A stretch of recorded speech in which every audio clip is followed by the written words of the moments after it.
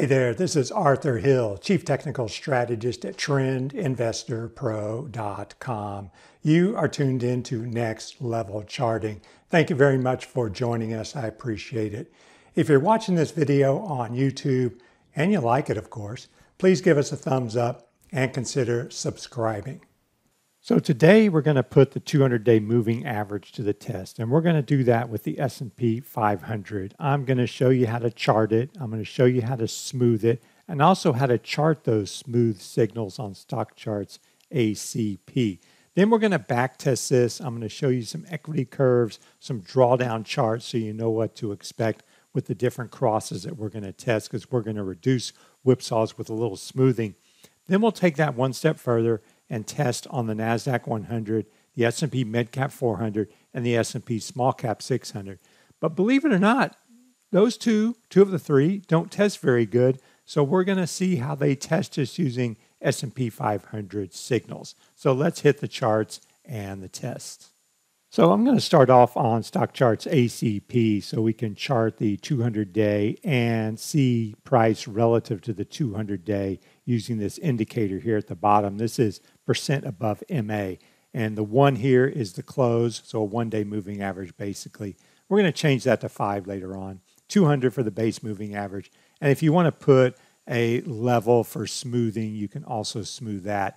If I go to the top left here, I can open up the settings there, and there's percent above moving average, and there are all the settings there that you can use. And this indicator is part of the Trend Investor Pro Indicator Edge plugin.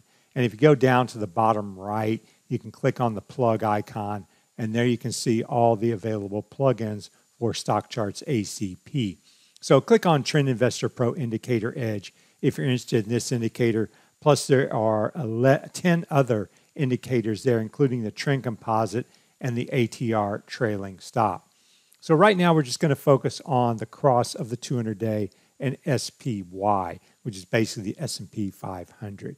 And if you look here, you can see that the 200-day is just a magnet for whipsaws. You can see from January here until April, we had 11 crosses of the 200-day moving average. And you can easily see those in the indicator window. When you go red, you're below. When you go green, you're above. So we got 11 moves above and below that zero line from January to April. And then we got the final move in April where we moved deep below the 200 day moving average into June.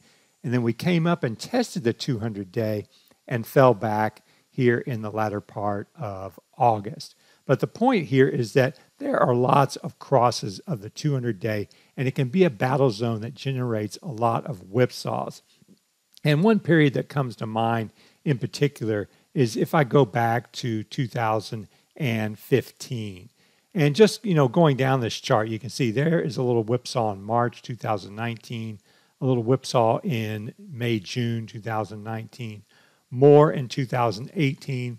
And you got to reduce those whipsaws in your trading because otherwise you're going to go nuts if you're trying to trade every little cross of the 200 day. And, and here's 2015. You know, we get these whipsaws in the summer and then we break down and then we get whipsaws there in November and December, a lot of them.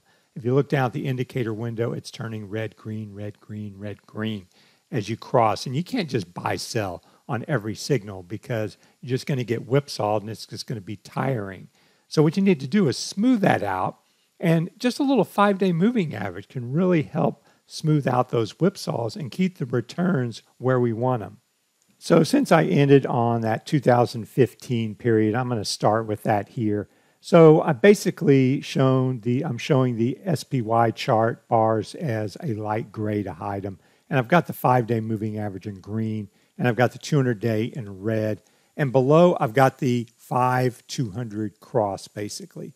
So you can see it's green when the five days above the 200 day, and then red when it's below. And we did get some whipsaws there in November and December 2015. But you can see we didn't get any in the early part of the summer. We got that cross in August. We got a few whipsaws here, but fewer than if we looked at the actual price closing above and below the 200 day. you can see it moved above and below the 200 day, the red line, several times, closing above and below. Whereas we only had one, two, three crosses by just smoothing it out with a five day moving average. And with Stock Charts ACP, it's real easy to scroll and just see how these signals compare. There is June 2016. That was the Brexit decline. And we closed below the 200 day. Five day did not. So smoothing helped there. Uh, we touched the 200 day right there, but didn't close below it, I don't think. Uh, and then if we move further down, we can see we get some closes, a close below the 200 day in March 2018, but not the five day moving below the 200 day. And then we got some whipsaws in October, November, December with the five day and with the close above and below the 200 day, but fewer whipsaws by smoothing the close out with the five day moving average.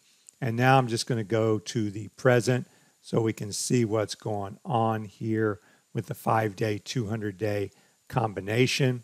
And then we're going to put it to the test.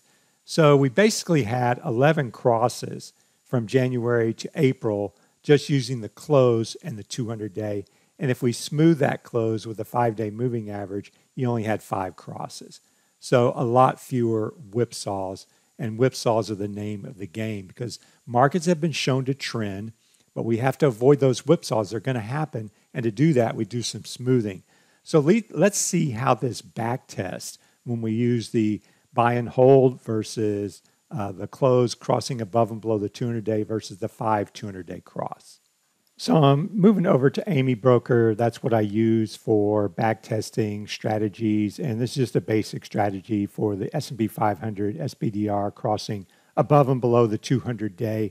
And we're going to go from 2000, 1 1 2000 to August 1st, 2022. And there were basically 83 signals. A signal, a complete signal is a buy and a sell. And if you look on the price chart, you can see the red arrows show across below and the green arrows show across above.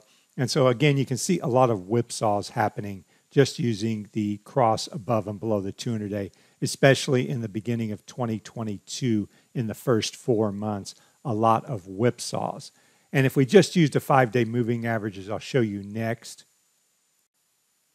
So I just reran this using the 5 200 cross. And instead of 83 trades with just the close above and below the 200 day, when we do the 5 200 cross, we only had 31 trades, a lot fewer trades.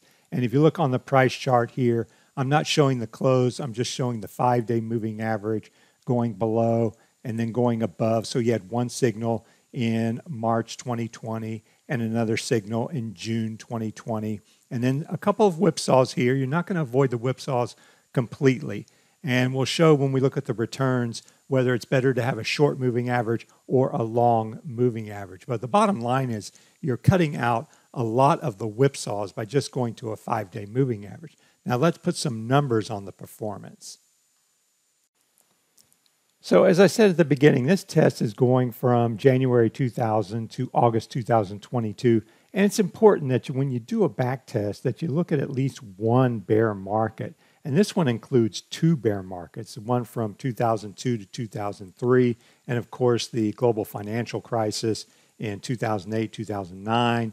And then we also have the COVID crash, we have the May flash crash, the European sovereign debt crisis in 2011. So, a lot of material there to work with. So, we're not just looking at one bull market, one bear market, we're looking at different market environments. And buy and hold for SPY without dividends is 4.63%, which isn't that great. And that's because you had those two bear markets in the first 10 years of this test, basically. It's in the last 10, 12 years that we've had a major bull market. And you can see here your biggest drawdown, 56.5%. And the reason we use moving averages for a little bit of timing is to reduce these drawdowns. So what I'm going to look at next is the 5 200 cross here.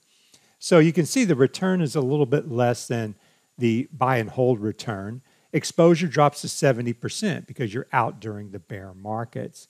And you can see the maximum drawdown as a result goes down to 20%. And that's what that little moving average cross can do. You keep the returns, but you lower the drawdowns.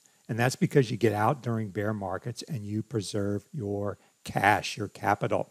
And there you can see the total trades. So we had 83 trades. Win rate was 35%. Not that great because of the whipsaws.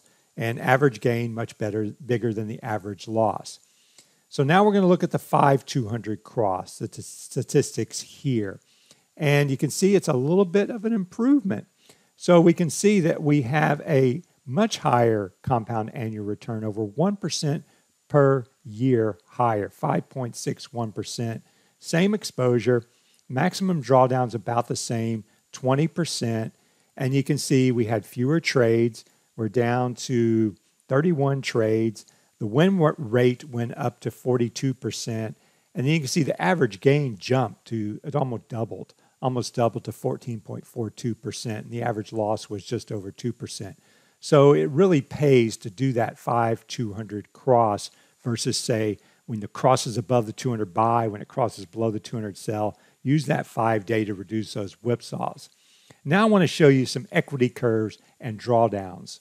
So this is what the equity curve looks like for the 5 200 cross for SPY. You buy when the five day cross is above, you sell when the five day cross is below, starting at 100,000. And you can see it grows and it grows all the way to 343,000. The blue line is buy and hold for reference, and it grew to 294. So you're outperforming buy and hold using that 5 200 cross. And the reason you're outperforming is because you're preserving capital during bear markets. So you can see here that we had the bear market period from 2001 to 2002 when the buy and hold strategy went into drawdown, deep drawdown, but the 5 200 cross was flat because you were in cash. And then when the five day moved above the 200 day, you participated in the advance. And then during the bear market of 2008, 2009, you were out flat. And then there's the big dip. So at the low of the bear market in 2008, 2009, you were below your 2002 lows as far as your equity was concerned for buy and hold. You're way underwater. And as you can see here, it wasn't until 2012 that you got above this equity high here from 2007. Whereas with the 5200 cross, you can see you're hitting new equity highs. Uh, actually, you hit one in 2010, then you hit another one in 2012. Uh, you're still going to get drawdowns. There's a drawdown there. There's another drawdown. And there's the COVID crash. But you're going to participate in broad market advances. So, just for reference, here's what the buy and hold equity line looks like again. And I'm showing you this because I want to show you the drawdowns, and we're going to compare those to the 5 200 cross drawdowns. There are those big drawdowns with buy and hold. If you're just buying and holding, then you can see you had two drawdowns that got to the 50% area in 2002 and in 2008 there. And then with the COVID crash, we got down to around 33% for the drawdown. Now, we haven't had a big 50% drawdown in 10 years, but that doesn't mean we can't have one. I have no idea if we're going to get one. The point is that when the five days below the 200 day, you're more likely to experience negative outcomes, aka drawdowns. So let's look at the drawdowns now for the 5200 cross here. You can see they're much different. They're, first of all, they're in that 12% area at the beginning of the period. And then 2008, 2009, we got into the 18 to 20% area and in 2010 there with the May flash crash. And then 2015, well, 16 was a tough period there. You got down to that 18, 20% area, but you never got close to 50%. You never got below 20%, basically. And most of the drawdowns were in this 12% range. And that's where we are currently. We have a 12% drawdown, basically, uh, because the market was hit pretty hard in January, and that's when it took the drawdown. I can go to this next table here and you can see the month by month, year by year. Uh, just go to the bottom. There you can see 2022. We can see January, February. That's the big drawdown there. And there was a little whipsaw in April. And right now we've been in cash because the five day has been below the 200 day. So the 5200 cross is one of five inputs for what I call the composite breadth model that we run here at trendinvestorpro.com. And this is a combination of trend and breadth because I'm trying to find out if we're in a bull market or a bear market because that is the single most important question that we need to answer. Because we're a, if we're in a bull market, then we want to look at stock based ETFs and we want to play the beta trade. We want technology, we want offensive sectors, we want software, semiconductors.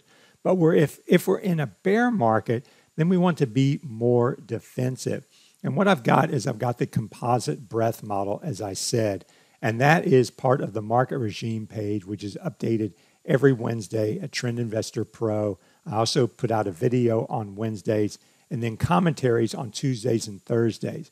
We also have an ETF signal table but briefly, I'll show you the composite breadth model on the market regime page. And this again is updated every Wednesday because we need to know if we're in a bull market or a bear market. And there's the 5200 cross. And then in the first indicator window, you've got the composite breadth model. And it's been bearish since April 11th here. And so it's telling us to be wary of stocks right now.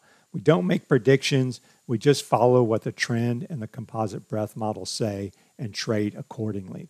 So check out trendinvestorpro.com if you want to know more about our services and strategies for trading and investing in ETFs. So I went ahead and tested other moving average combinations. In addition to the five day crossing above and below the 200 day, I tested the 20 day and the 50 day. And the 50 day is, of course, the golden cross.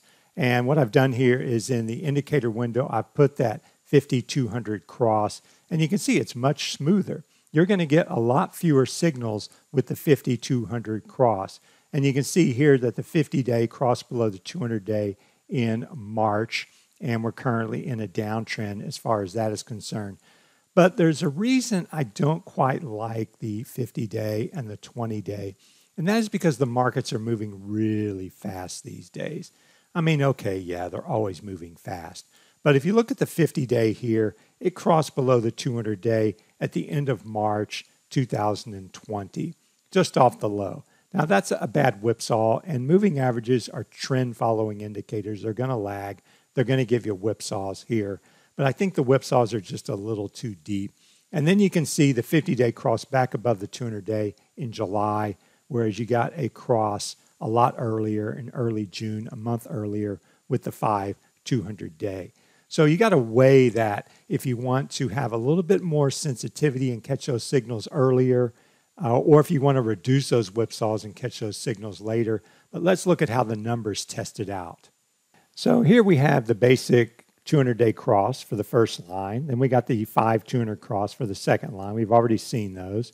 And then the third line is going to be the 20 200 cross. And what we're seeing here is we're seeing that performance doesn't improve that much. You can see the compound annual return got up to 5.7% from 5.61, no big deal. Exposure actually went a little bit down. The drawdown was higher, 32.37%, and that's largely the COVID crash. A lot fewer signals, a higher win rate, and yeah, the average gain, average loss was okay, but it's that drawdown here that is of concern. And then if we look at the 50 day crossing above and below the 200 day, we can see how those signals work out.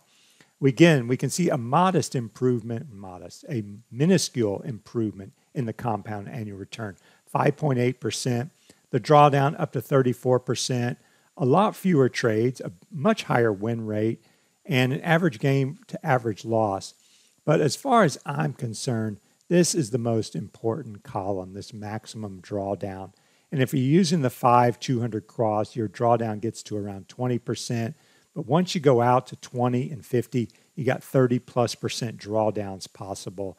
And I would like to just reduce those drawdowns personally, especially if I'm keeping the returns in the same area.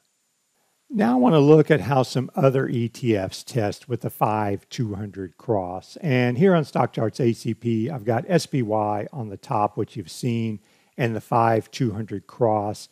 And then below, I've got QQQ with the 5 200 cross. And you can see here that QQQ cross, the five day cross below the 200 day, and it stayed below. We didn't get those pokes above the 200 day like we did for SPY in February and in late March, early April. QQQ was showing relative weakness because it couldn't get back above the 200 day.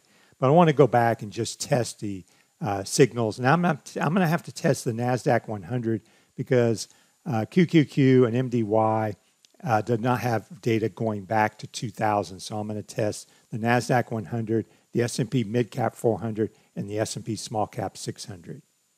So to keep it uniform, I'm going to use the S&P 500 index with the Nasdaq 100, S&P Small Cap 600, and S&P Mid Cap 400. And if we look at the Nasdaq 100, we can see it performs pretty well as far as the compound annual return, 7.11%, similar exposure. Big drawdown though, 35%, and the win rate was 36%. Uh, but if you want a little more bang for your buck, the Nasdaq 100 is definitely the place to be. Now, if we go down to mid caps, we can see that performance isn't that great. You can see that we only have 4.5% compound annual return, similar exposure, a drawdown of 32%, and a very low win rate, 26%. So the 5200 cross is not working that good for the S&P Midcap 400 and by extension I would say MDY, which is the midcap ETF. Then if we look at small caps, we can see that they also do not perform well. The S&P Small Cap Index, 4.19% compound annual return, the lowest of the group. The biggest drawdown, 37.7%. Uh, a low win rate. It was better than mid caps, but worse than um, the Nasdaq 100. And then you can see average gain, average loss. Okay, but but not not as good as the other ones. But basically, you have big drawdown and small return for small caps. So it's okay for the NASDAQ, but not so good for mid caps and small caps. But I want to put a twist on this. What if we took the signals from the S&P 500 and instead of buying the S&P 500, we bought the Nasdaq 100 or the mid cap 400 or the small cap 600? How would they perform using signals from the S&P 500? So I'll just review the Nasdaq 100 5 200 cross signals before we look at the next one. 7.1% compound annual return 35% drawdown, 36% win rate. So now what if we turn this around and use the S&P 500 signals for those Nasdaq 100 buy and sell signals? Well, you can see that the compound annual return is similar, 6.8%. The drawdown is similar, 35.62%, but the win rate jumped to 47%. Yet a much higher win rate if you use the S&P 500 crosses instead of the Nasdaq 100 crosses and your return and your drawdown were about the same. So that seems like a positive there to use the S&P 500 signals for trading the Nasdaq 100. So now we're going to go back and we're going to look at the S&P Midcap 400. And these are the signals using the S&P Midcap 400 signals. 4.5% compound annual return, 32% drawdown, 26% win rate.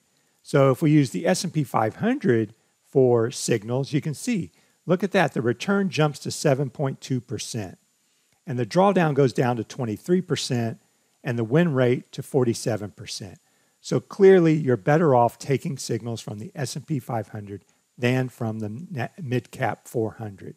And if you want to trade these, the S&P 500 crosses work a lot better and you can get that extra beta that extra outperformance by using the NASDAQ 100 and the midcap 400 as your trading vehicle. Now let's look at small caps.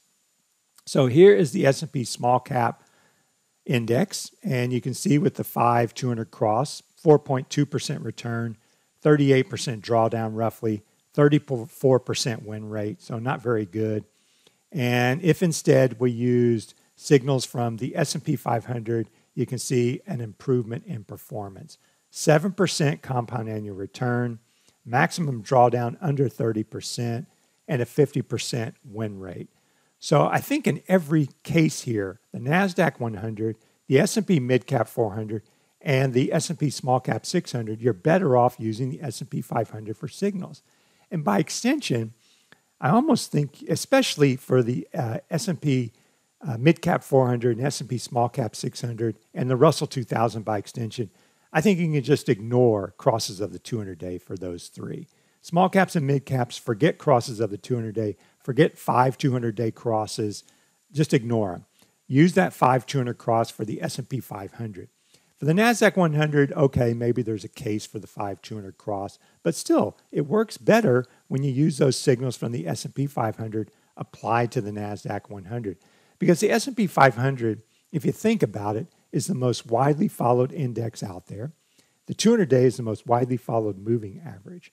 And so if you can get on that bandwagon there, the most widely followed benchmark, the most widely used moving average, and use that for your broad market timing and then go into the higher beta ETFs, I think you're going to outperform than if you use the actual ETFs for your signals.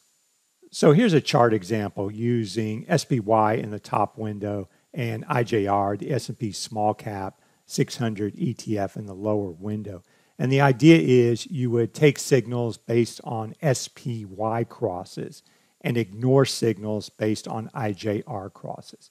Now IJR here crossed below the 200 day before the S&P 500 had some whipsaws, but had its ultimate cross there in late January and then the S&P 500 got it in January too, but had some whipsaws. I mean, not every signal is going to be perfect, uh, but you can also see small caps were underperforming in February, March, April because that five day didn't get above the 200 day. And then if we look here in August, we got a five day cross above the 200 day in IJR, but it's turning out to be a whipsaw, at least so far, because you can see SPY is not crossed above its 200 day. So, in a way, IJR is showing some relative strength, but as long as SPY is below its 200 day, the five days below the 200 day, I'm staying away from IJR, MDY, QQQ because the S&P 500 is the benchmark for US stocks, the most widely followed. And when the 5 days below the 200 day, you're more likely to have negative outcomes than positive outcomes. In other words, downside than upside. So if you'd like to know more about trendinvestorpro.com, you can click on the link below in the description. Again, if you like this video, please give us a thumbs up and consider subscribing to Stock Charts. Thanks again for tuning in. Have a great day, and I'll talk to you again next week. Hey, Grayson Roze here with Stock Charts. Thank you so much for watching. I hope you enjoyed that video. If you did, consider giving it a like down below, maybe leave us a comment, and if you're new to the channel, you can subscribe at the link up above. We're gonna bring you daily content from an incredible collection of technical analysts and financial experts.